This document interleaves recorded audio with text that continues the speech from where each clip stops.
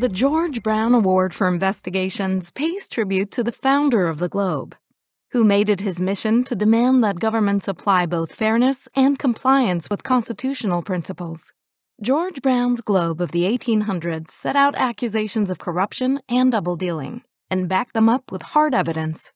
This award honoring investigative journalism that afflicts the comfortable is sponsored by the Globe and Mail.